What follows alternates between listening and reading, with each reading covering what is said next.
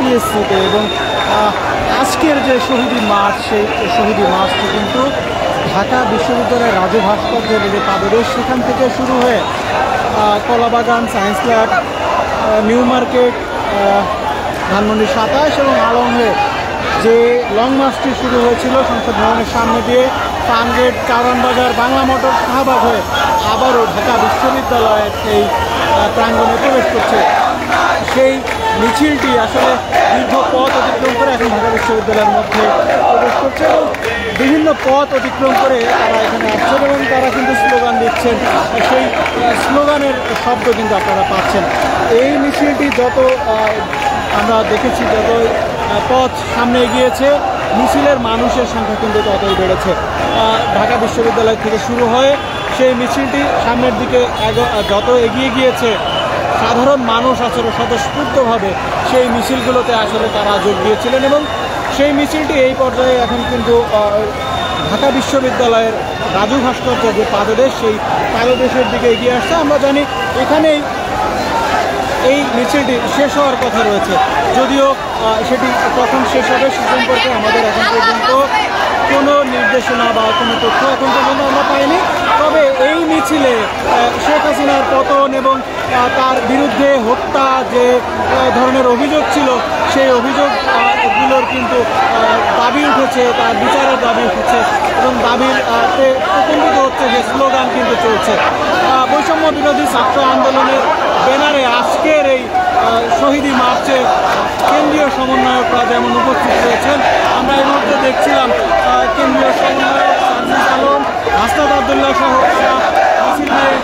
এই রাজ্য ভাস্কর্যের করছে। এবং সেই সাথে মিছিলের বড় অংশ এই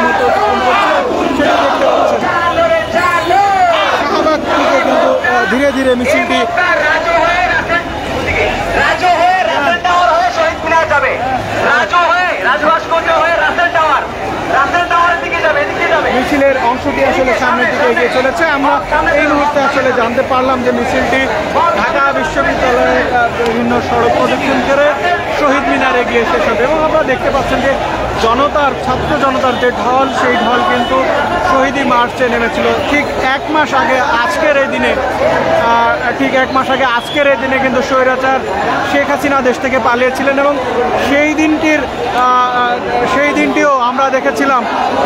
ছাত্র জনতার যে উল্লাস, সেই উল্লাসে কিন্তু ফেটে পড়েছিল সারা ঢাকা এবং সড়ক মহাসড়কে দেখেছিলাম উচ্চ পড়া ভিড়। আজও কিন্তু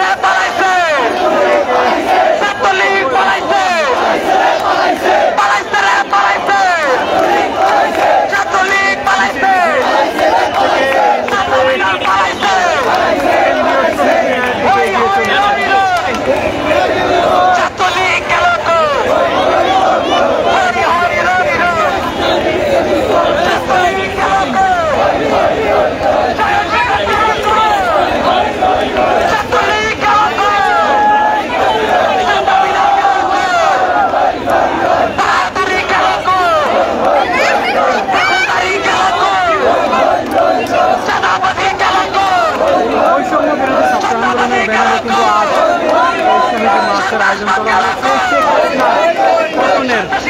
এক মাস আজ পূর্ণ হলো। সেই উপলক্ষে আজকের এই শহীদি মাঠ, সেই শহীদি মাঠে দেখতে পাচ্ছেন ছাত্র জনতার ঢল নেমেছে।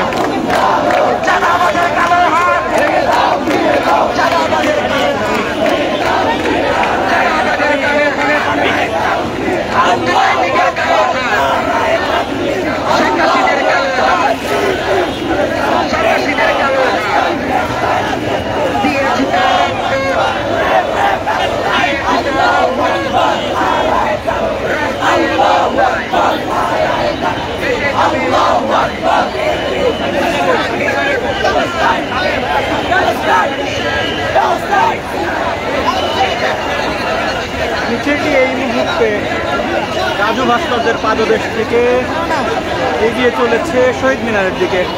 এবং সেই মিছিলের যে ছাত্র জনতার স্বতঃস্ফূর্ত অংশগ্রহণ এবং যে ঢল নেমেছে সেটি আসলে আপনাদেরকে দেখানোর চেষ্টা করছি। এই মিছিলটি শুরু হয়েছিল দুপুর তিনটায়, সেটি কিন্তু ঢাকার বিভিন্ন সড়ক প্রদক্ষিণ করে। এবং সেই মিছিলটি এই মুহূর্তে ঢাকা বিশ্ববিদ্যালয়ে প্রবেশ করেছে।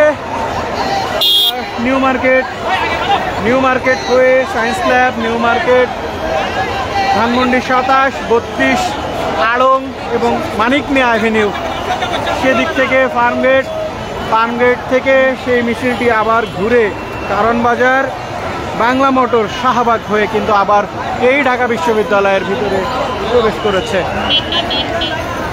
সেখানে চলমান যে আন্দোলন চলাকালীন সময়ে যারা শহীদ হয়েছিলেন, তাদের হত্যাকাণ্ডের বিচার, যারা এর সাথে জড়িত ছিল, তাদের আইনের আওতায় আনা সহ নানা দাবিতে কিন্তু এই ছাত্র জনতা আজ স্লোগান তুলেছে। এবং তারা বলছে, ভবিষ্যতে কেউ যদি আবারও এই ধরনের ষড়যন্ত্র, হত্যাকাণ্ডর মতো ঘটনা ঘটানোর চেষ্টা করে, তাহলে ছাত্র সমাজ তা রুখে দিতে প্রস্তুত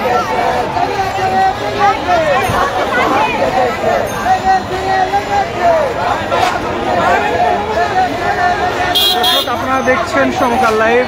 আমরা যুক্ত আছি বৈষম্য বিরোধী ছাত্র আন্দোলনে। ডাকে আজকের যে শহীদি মার্চ সেই শহীদি মার্চের থেকে ঢাকা বিশ্ববিদ্যালয়ের ঠিক টিএসসির সামনে এখন আমরা অবস্থান করছি। মিছিলটি ধীরে ধীরে এগিয়ে চলেছে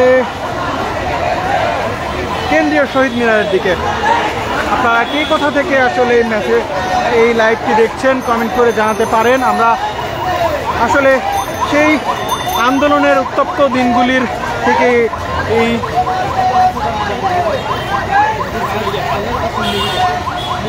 দেখেছি যে শিক্ষার্থীরা তাদের অধিকার আদায়ে মাঠে ছিল, এখনও পর্যন্ত তারা সোচ্চার। এবং তাদের যে স্বতঃস্ফূর্ত অংশগ্রহণে রক্তক্ষয়ী, ক্ষয়ের মাধ্যমে যে শেখ হাসিনা দেশ থেকে বাধ্য হয়েছিলেন, তার কিন্তু এক মাস পূর্তি হচ্ছে আজ। সেই এক মাস পূর্তিতে উপলক্ষে আজ এই বৈষম্য বিরোধী ছাত্র আন্দোলনের শহীদী মার্চ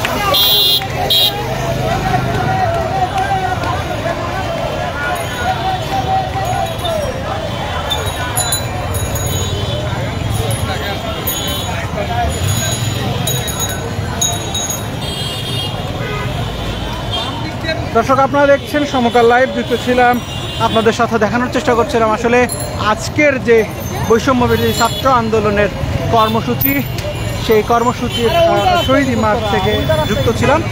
পরবর্তীতে যে কোনো আপডেট পেলে সাথে সাথে আপনাদের সাথে যুক্ত হওয়ার চেষ্টা করব। সে পর্যন্ত সমকালের সাথেই থাকুন। ধন্যবাদ।